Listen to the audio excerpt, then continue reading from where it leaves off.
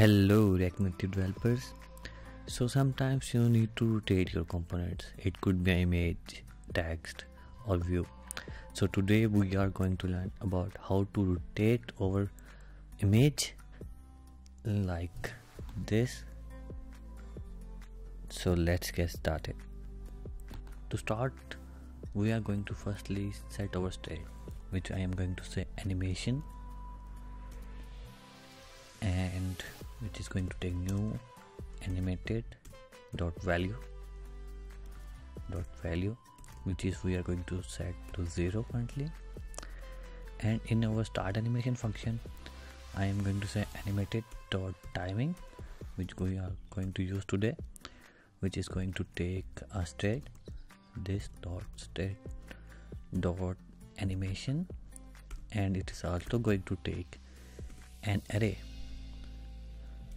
an object of toValue which we are going to say 540 and duration how long the animation could take.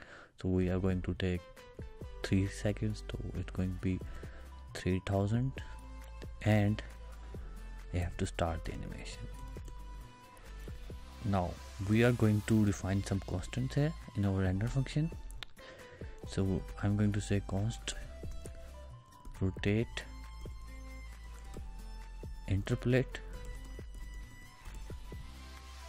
and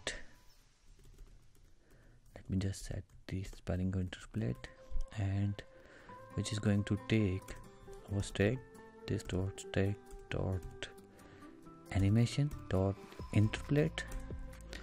And again it is going to take an object which is going to be input range. And we are going to say 0 to 360 again these values all depend upon your uh, value all depend upon your rotate how much you want to rotate and output range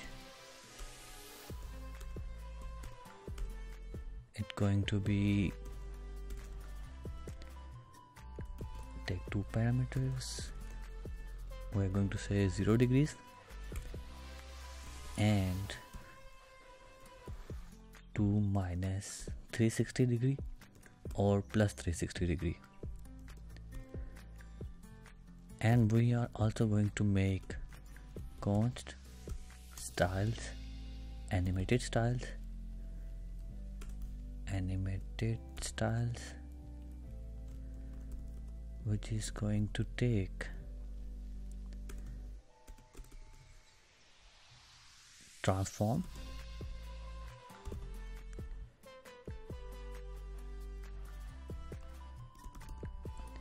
and it is again going to take an array of objects which is going to be rotate